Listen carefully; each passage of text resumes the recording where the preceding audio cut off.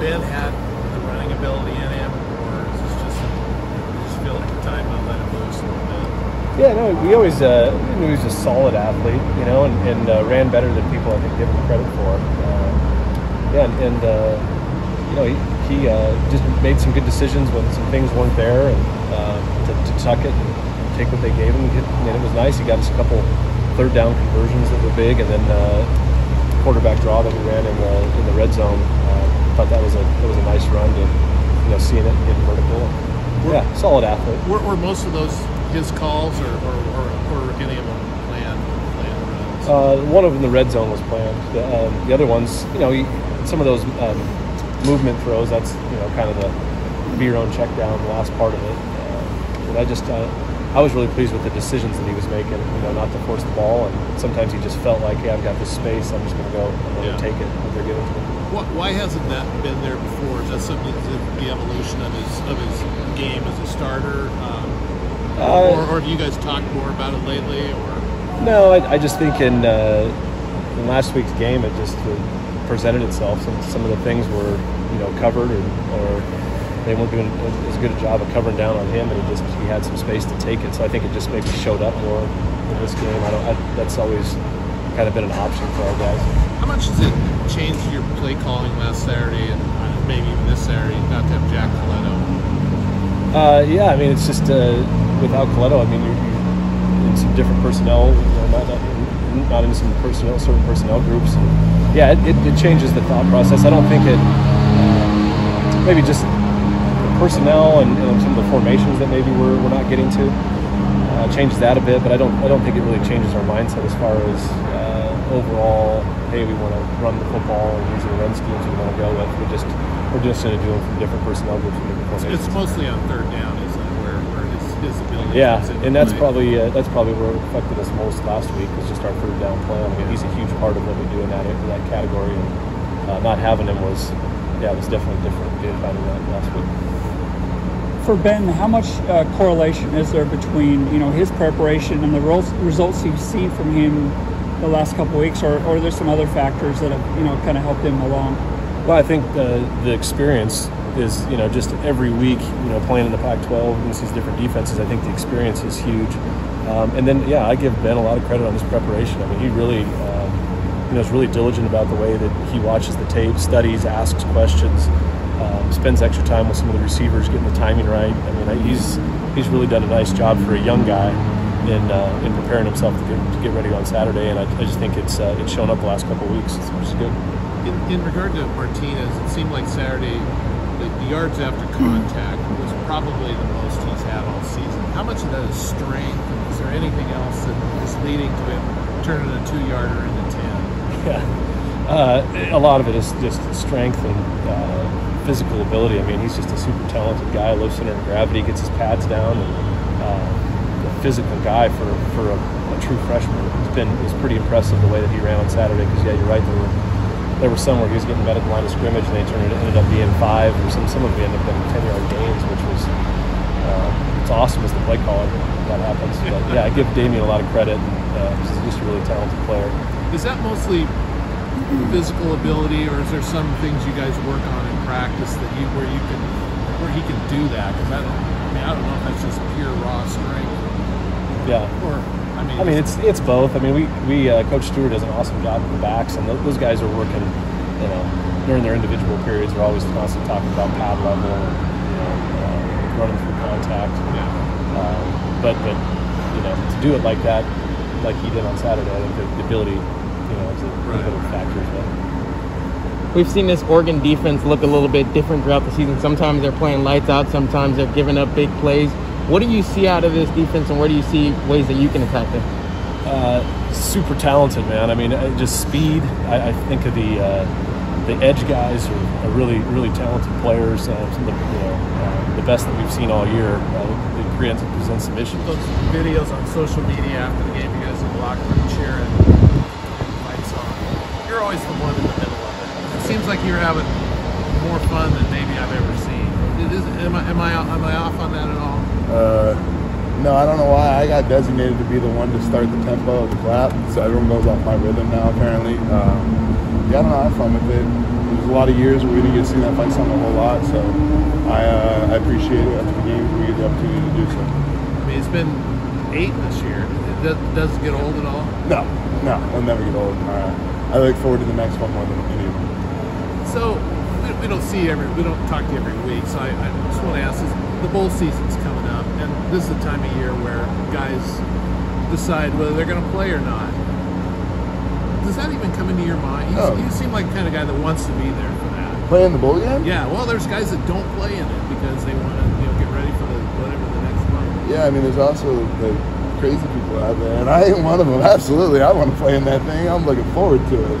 Um, we got to get through the first this next week though, and then we'll worry about that. That's not something that would even enter. you. No, no. no, no chance. No, no slight chance. No, you'd have to get me out and uh, end up handcuff me to keep me from playing that game. How, how did you feel like you guys had some challenges last week with you know Tolly was a little banged up and Yeah. and, and you know, Miller was playing his first. How did you guys feel like you performed as an? I thought we had a good game. Um, obviously, it was good to get Damien going, get the running game going. Um, I think there's always things going to get cleaned up. I was really happy with how Team Mill stepped up. Um, first start, me and Josh were actually talking about dinner the other day. Uh, both thought he handled his first start way better than either of us ever did. So, no, it was awesome to see some of the younger guys step up. Um, obviously, Tolly fighting through little bangs and bruises like we all do. But no, I, I think we had a solid game all around. I think there's a lot that we can still improve on, um, which excites me because I think we got a backfield that they'll run that ball now. So if we just if we can keep executing and just keep improving, uh, I don't see how we can't just keep running the ball. What, is that like for an offensive line when you see a guy like Martinez get stopped two yards and then all of a sudden it's a ten yard run? And he did that several times Saturday. It just seemed like he was going down and he did. Yeah, uh, I, after the game, I told him, man, you ain't no freshman anymore. Um, those were some grown man runs. Um, as an offensive lineman, there's going to be times where communication gets messed up, something doesn't happen correctly. Um, as much as we'd all like to be perfect all the time, it, it's just not realistic that every play it's always going to be perfect. So it's awesome to have a back who's going to make you right, even when you're wrong. Um, and he did that for us multiple times last week. I mean, it was obvious watching on field, running through tackles in the backfield, just running guys over like a grown man. Um, no, it's awesome to block for a guy like that. That's what you want in the back. What have you seen that's come together for this offense the last couple of weeks that's allowed for the production that you had? Uh, I think it's consistency. Uh, not only consistency in like on the field, but consistency in practice. Um, I think that we've gotten to a point where we're, we're practicing with a, with a certain tempo. Um, I mean, I think we always practice hard. I, I, I never doubt anybody on this team doesn't give it their all at practice. But I think there were times where we'd have practices where one one guy here, one guy there, just inconsistent days. Um, so I think the consistency across the board for everybody has allowed us to kind of gel a little bit better, get into a rhythm with one another, um, and just it, it's it's all about rhythm. It's all about finding that unity together, and I think we've kind of done that. And Ben's been your starter for a while now. How much have you seen him become more comfortable, you know, game after game with, with his surroundings? Oh no, man! I'm so proud of Ben. Um, I told him after the game last week, like he made some plays last week that I know his first his first week's time he wouldn't have made, and that's what that's all I care about. That's all you want to see is, is that growth. Obviously, to step in middle of the season like he did, like that's a lot a lot of pressure that people put on you, and I don't think he's taken any of that pressure. I think he's just shown up day after day, been himself, um, tried to be the best version of himself he can be, and it's been awesome to see him grow, mature, not only as a player but as a man, as a leader. Um, no, he, he's really stepped up big for us in a big way. They got a couple guys on this D line, number three, number two, that can make some plays in the backfield. How do you guys see this battle against you know this defensive front? I mean, I think I, every team. This is the Pac-12. Every team's gonna have a couple guys here there. Obviously, Oregon's got some good. They got some big names. They got some guys that are proven that have made some big plays. But I think for us, it, it's going back to the basics, the same things that have got us here. Um, our fundamentals, the communication piece, focusing on ourselves, and most importantly, making it physical. Um, they know it. We know it. Like it's got to be physical up front. Whoever wins that line of scrimmage probably to win the game. And so for us, it's just getting back to the basics, getting back to the stuff that's gotten to the opportunity to win, play for a ninth game. So uh, no, just making it physical, man, and just going out there and executing. How important is it for you guys to have you know this game on your home turf? Um, this one's a special one. Uh, obviously, the 2020 season, um, that that's a game I'll always remember. Whenever you play the Ducks, you always remember those games, win, lose.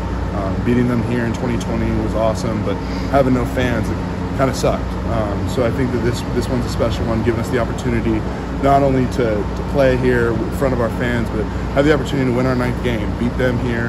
Um, obviously, we got to play the game, we got to execute, we got to we got to do everything right. Um, they're a solid team, but no, I think it's special. I, I look forward to it very much. I know Reser's going to be rocking. I know this town's excited. I know I'm excited. I know this team's excited. I know they're excited. So both teams bring their best, and see how it goes. For this senior group, this to be you know the last battle against this Oregon team, how special would it be to you know basically just cap it off with a win against the rival team? Oh, like I said, um, these games, this, this rivalry is it's legitimate. Um, I think that across the country, there's a lot of big rivalries, but I think that this one is definitely it's up there um, and some of the more special ones, and I think it's personal for both sides. And so, um, obviously, I played in a lot of these games, lost more than we've won. To be honest with you, um, I think it'd be really special for not only the seniors, um, but even for the young guys who, who are just entering the program to, to kind of set a precedent. Um, for me to leave here with a with a win like that would be awesome. It'd be very special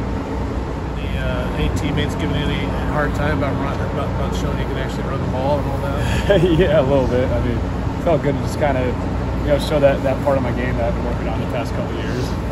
Um, I think you know I'm a threat in the run game when when it breaks down in the pass game, and uh, it was good to be able to show that that I can do that. Did, did you do that much in high school?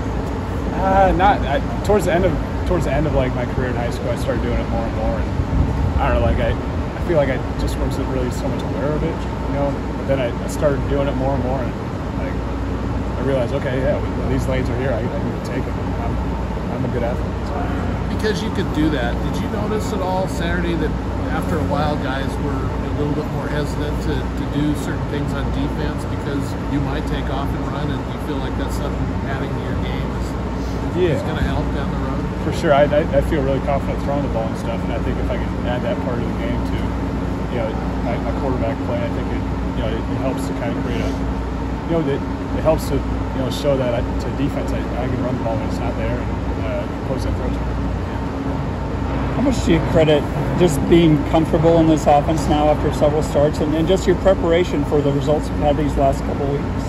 Yeah, I think I, I'm kind of refining and dialing in a, in a process that I like, you know, throughout the week. And I feel like, you know, the, the tape study and uh, you know what, what we go over with the coaches and our teammates. I feel like you know we're, we're, prepared going out there. You know we see the looks and stuff, and you know I'm ready to you know put the ball where it needs to go.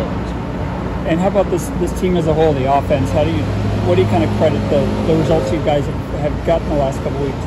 I think it's just uh, credit to the, the, hard work and preparation we put in during the week. The, extra you know time we stay after watching tape. You know our extra work after practice, stuff like that, getting things right, you know, refining our, our plays and stuff. And I think just the overall process we put into the week. Uh, you know, when you put it put in a good process of preparation and you just go out and let you know let it rip. This Oregon defense, they've given tons of different looks. They've played lights out, but they've also been susceptible to the pass and things like that. Where do you see the spots to attack this defense? Shoot, they're, they're a great defense over there, and uh, they're, they're, their coaches have a great scheme. They have great players, and you know, it's going to it's going to be a tough test for us. And you know, we, we look forward to that challenge.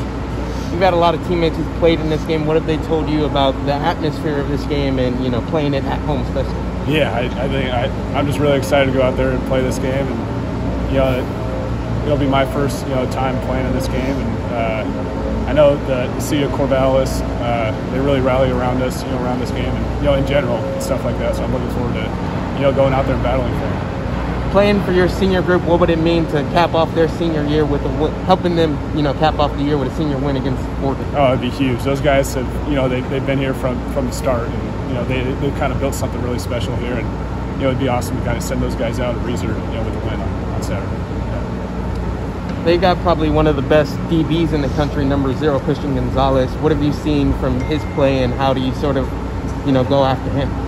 Yeah, shoot, I, I, I think you know that, that, comes with scheme and stuff, and uh, he's a great player, and they've got a lot of great players on defense. So I think, uh, but I, am confident in our guys on offense, and I, I think we will go out and make some plays, and you know, uh, yeah, I, I, look forward to the challenge. One fun Thanksgiving question, uh, if you could yeah. give me the position group with the their equivalent to the Thanksgiving dinner? Like, what item from Thanksgiving would each position group be? Oh, jeez. Uh, gosh, I, I don't know how to answer that question, but uh, shoot, I, I think I think the old linemen they they'd be the turkey. You know, they're they're the meat up front. They're they're the, the main deal. They, they make everything go. Uh, I think without them, you know, you don't really have a feast. They, they get everything started up front. They're, they're the most important guys on the offense. So I think, you know, definitely the old linemen are, are the most important meal at Thanksgiving. So I, I'll leave it at that.